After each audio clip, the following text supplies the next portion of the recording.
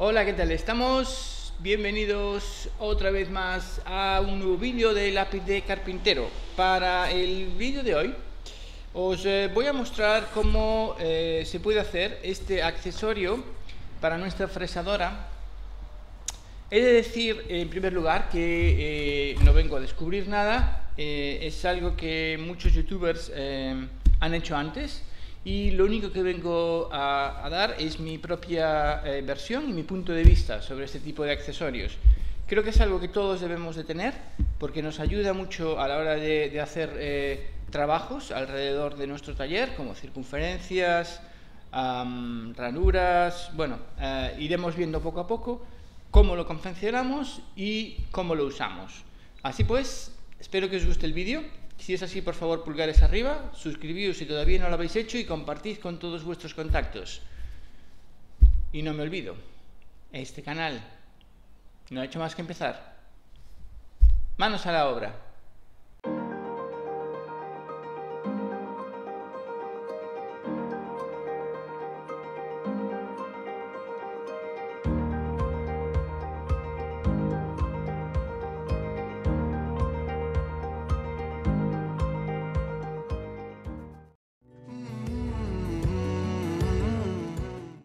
Bueno, pues esta es nuestra base, que luego os explicaré eh, dónde deberemos de colocar todos estos agujeros y estas ranuras. Eh, a continuación, esta es la base de sustentación, que bueno, no, no, he grabado cómo hacerla, pero bueno, os podréis imaginar cómo hacerla una vez que veáis todo el proceso. Tiene dos ranuras ahí para colocar nuestras perillas.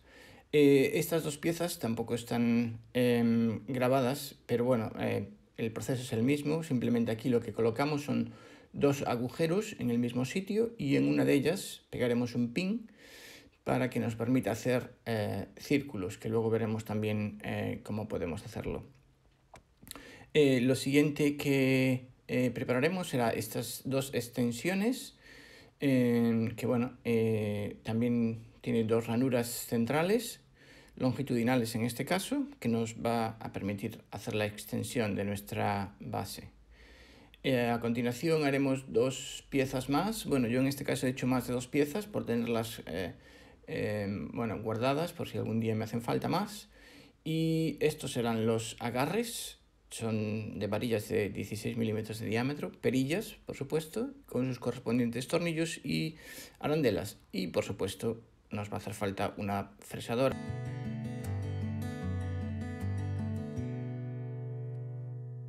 Para realizar esta plantilla lo primero que tendremos que hacer será cortar nuestra pieza de metacrilato. Yo en este caso he utilizado eh, una pieza de 25 por 30 aproximadamente y lo siguiente que haremos será marcar los puntos en donde tendremos que hacer nuestros agujeros para colocarle esto como eh, acople. Eh, es muy sencillo, simplemente buscamos el centro, ¿vale? que en este caso sería aquí.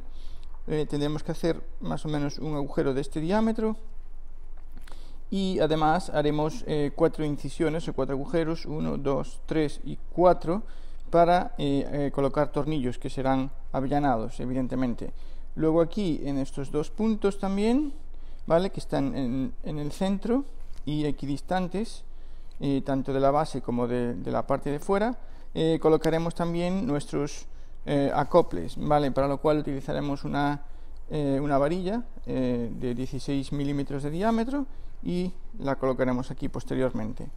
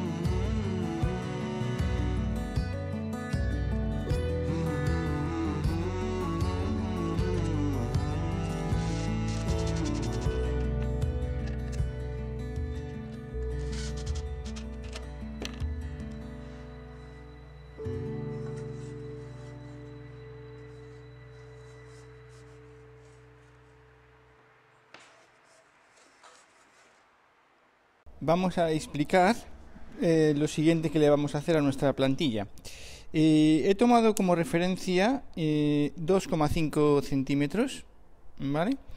Y con un rotulador negro y sobre esta superficie para que se vea mejor las líneas, he tomado como referencia 2,5 desde uno de los extremos, desde el, el otro, del otro y del otro, e igualmente he tomado la misma referencia desde fuera, dos y medio, ¿vale?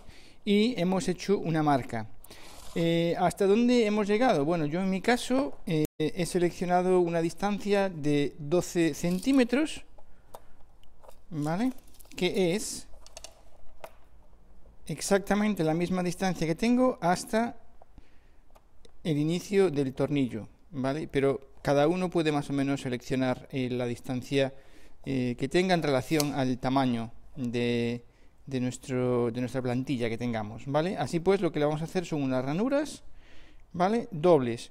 Primero una más eh, estrecha y luego una más ancha para que permita que la cabeza del tornillo pueda circular libremente por las ranuras.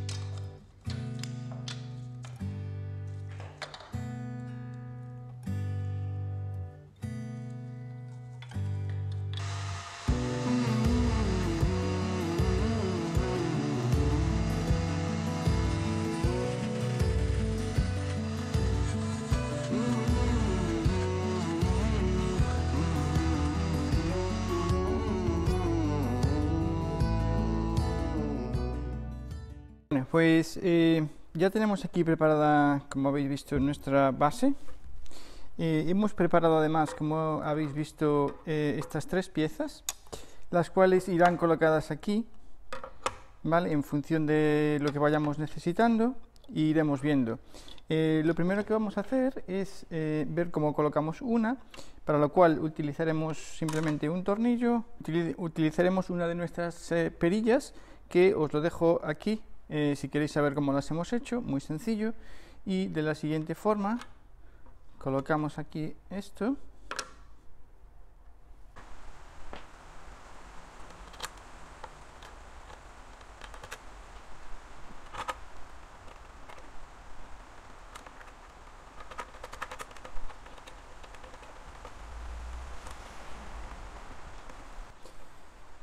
Esta parte, evidentemente, es regulable en distancia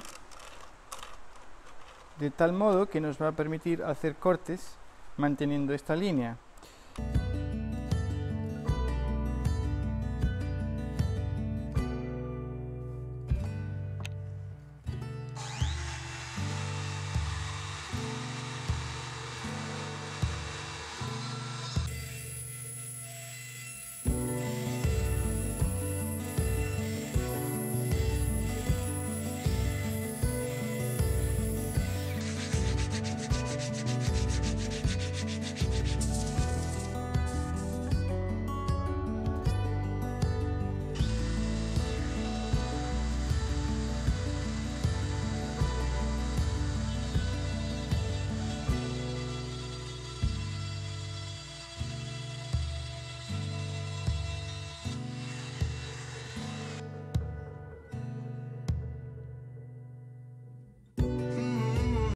Lo siguiente que haremos será colocar este pin en el centro, que previamente hemos hecho un agujero, y lo insertaremos aquí en este agujero que hemos hecho en este acople.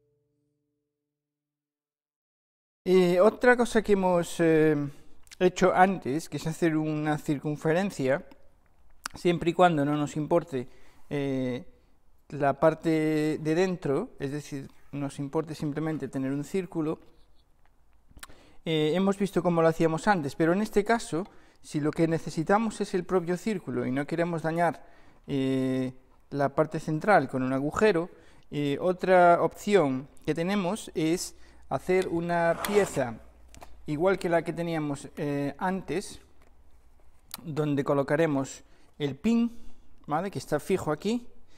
Eh, lo único que tendremos que hacer será colocar un trozo de eh, cinta doble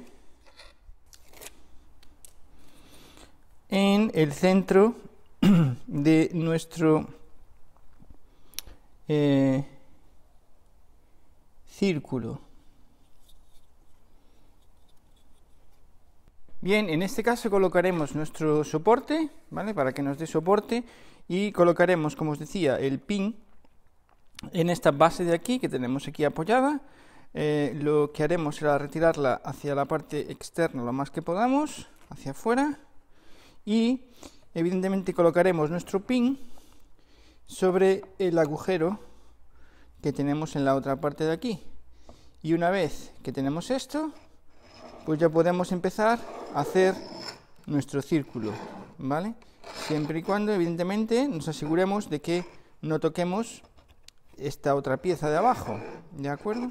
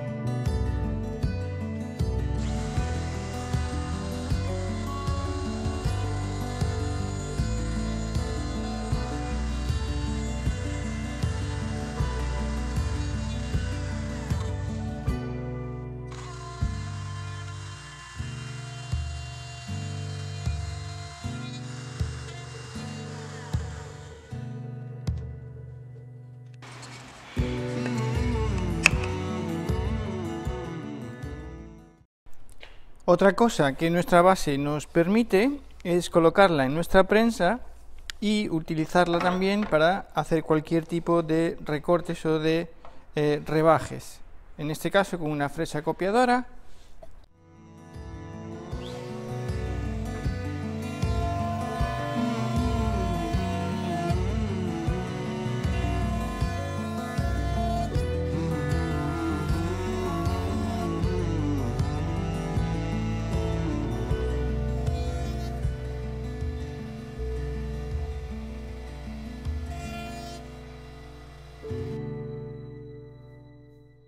Otra de las cosas que podremos hacer es, eh, utilizando nuestros acoples eh, de extensión, nos permitirá eh, extender nuestro corte. En este caso, si queremos hacer un corte a una distancia más larga de lo que mide nuestra base, con esto podremos hacerlo. E igualmente, podremos hacer también circunferencias de radio mucho más grande.